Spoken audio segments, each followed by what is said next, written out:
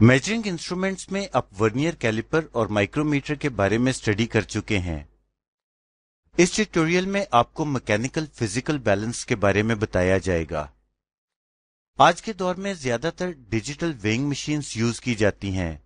لیکن آپ کے لیے مکینیکل فزیکل بیلنس کو اسٹڈی کرنا اس لیے ضروری ہے تاکہ آپ فزیکل انوالومنٹس کے بارے میں جان سکیں۔ آپ نے اکثر پارکس اور لیجر لینڈز وغیرہ میں بچوں کو سیسو پر انجوائے کرتے ہوئے دیکھا ہوگا۔ اگر آپ ان دونوں کو کمپیئر کر کے دیکھیں، تو سیسو میں اس ووڈن پلانک کو اسٹینڈ پر بیلنس کیا جاتا ہے اور فزیکل بیلنس میں اس بیم کو اسٹینڈ پر بیلنس کیا جاتا ہے۔ سیسو میں تو ہمیں ویٹ کو میجر نہیں کرنا ہوتا، لیکن فزیکل بیلنس میں ایکوریٹ ویٹ میجر کرنا ہوتا ہے۔ اس لیے ہمیں اسے بنانے کے لیے پریسائز انجینئرنگ کی ضرورت ہوتی ہے۔ یہاں ہم اس انسٹرومنٹ کی کنسٹرکشن اور اس کے پارٹس کے بارے میں اسٹڈی کریں گے۔ فزیکل بیلنس کو ایک باکس میں رکھا جاتا ہے تاکہ ایئر پریشر اس کی بیلنسنگ پر اثر انداز نہ ہو۔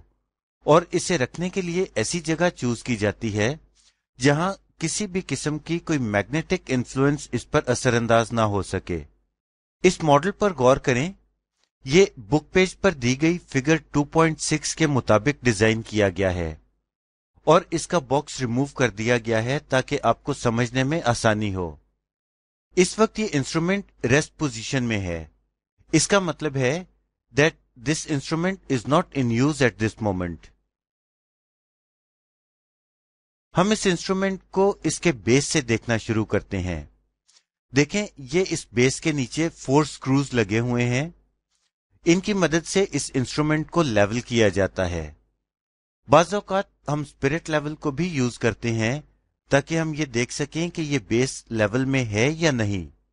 بیس پر سامنے کی طرف ریسٹنگ نوب نظر آ رہی ہے، جو بیم لفٹر کے ساتھ اٹیچ ہوتی ہے۔ ریسٹنگ نوب کو روٹیٹ کرنے سے یہ بیم لفٹر اوپر کی طرف اٹھتا ہے اور بیم کو لفٹ کرتا ہے۔ اس بیم کو ریموو کر کے آپ دیکھ سکتے ہیں کہ یہ بیم لفٹر اندر سے خالی ہے۔ یعنی جب یہ اوپر اٹھتا ہے تو یہ بیم کو ٹچ نہیں کرتا، بلکہ اس کی سائڈز اس ٹرائنگولر پیس کو ہٹ کرتی ہیں، جس کی وجہ سے بیم لفٹ ہوتی ہے۔ اس ٹرائنگولر پیس کو نائف ایج کہتے ہیں۔ جب یہ نائف ایج بیم لفٹر پر ریسٹ کر کے اس بیم کو لفٹ کرتی ہیں، تو پھر یہ بیم بیرنگ کا کام کرتی ہیں۔ یعنی پوری بیم اس نائف ایج پر بیلنس کرتی ہے۔ اب ہم اس بیم کے ایجز کو دیکھتے ہیں۔ دونوں ایجز ایک ہی جیسے ہیں، لہذا ہم رائٹ ایج کو فوکس کر لیتے ہیں۔ دیکھیں، یہاں پر بھی ایک نائف ایج بیم کے اوپر فکس کیا گیا ہے۔ اس نائف ایج پر یہ سٹرپ بیلنس کرتا ہے۔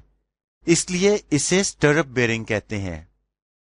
یاد رکھیں، اس انسٹرومنٹ میں یہ نائف ایجز اسی لیے یوز کی جاتی ہیں تاکہ کم سے کم فرکشن پروڈیوس ہو اور ہمیں ایکوریٹ میجرمنٹس مل سکیں۔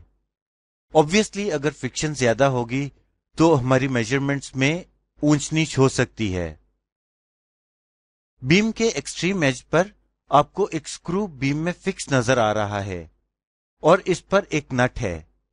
اسے بیلنسنگ سکرو کہتے ہیں اور یہ بیم کے دونوں سروں پر ہوتے ہیں۔ اگر بیم ڈس بیلنس ہو جائے تو ان نٹس کو گھما کر بیم کو بیلنس کیا جاتا ہے۔ بیم کی بیلنسنگ کا پتا ہمیں اس پوائنٹر سے چلتا ہے۔ اگر یہ پوائنٹر سینٹر میں نہ ہو، تو اٹ مینس کہ بیم بیلنس نہیں ہے۔ اس پیس پر غور کریں، یہ بیم کا ریسٹ اینڈ ہے۔ جب یہ انسٹرومنٹ استعمال میں نہیں ہوتا، تو ریسٹنگ نوب سے بیم کو لوور کر دیا جاتا ہے اور بیم اسٹینڈ پر ریسٹ کرتی ہے۔ غور کریں، اس وقت یہ بیم ریسٹ پوزیشن میں ہے۔ اور فائنلی، اب آپ یہ پینس دیکھ رہے ہیں۔ یہ پینس ٹرپ کے ساتھ اٹیچ ہوتے ہیں اور جب بیم ریسٹ پوزیشن میں ہوتی ہے تو یہ پینس بھی بیس پر آ کر ٹک جاتے ہیں۔ اب ہم بیم کو لفٹ کرنے کے لیے اس ریسٹنگ نوب کو روٹیٹ کرتے ہیں۔ غور کریں کہ اس نوب کو روٹیٹ کرنے سے بیم لفٹر نے اس مڈل نائف ایج کو اوپر اٹھا دیا ہے۔ جس سے پوری بیم اوپر اٹھ گئی ہے اور اس کے ساتھ ہی دونوں پینز اور پوائنٹرز بھی اوپر اٹھ گئے ہیں۔ پہلے پوائنٹر کو چیک کریں۔ دیکھیں یہ پوائنٹر رائٹ right سائڈ پر ہے۔ اٹ مینس کہ بیم بیلنس نہیں ہے اور لیفٹ سائڈ سے جھکی ہوئی ہے۔ ہم بیم کے ایڈجسٹنگ سکروز کی مدد سے اسے بیلنس کرتے ہیں۔ ہم لیفٹ سائڈ کا نٹ تھوڑا سا لوز کر دیتے ہیں۔ اب لیفٹ سائڈ کا ویٹ ریڈیوس ہو گیا ہے اور پوائنٹر سینٹر میں آ گیا ہے۔ And now this instrument is ready for use us tutorial میں بتائے گئے پوائنٹس کو اچھی طرح ذہن نشین کر لیں۔ پریکٹیکلز کو پرفارم کرتے وقت آپ ان باتوں سے بہتر ریزلٹس آپٹین کر سکتے ہیں۔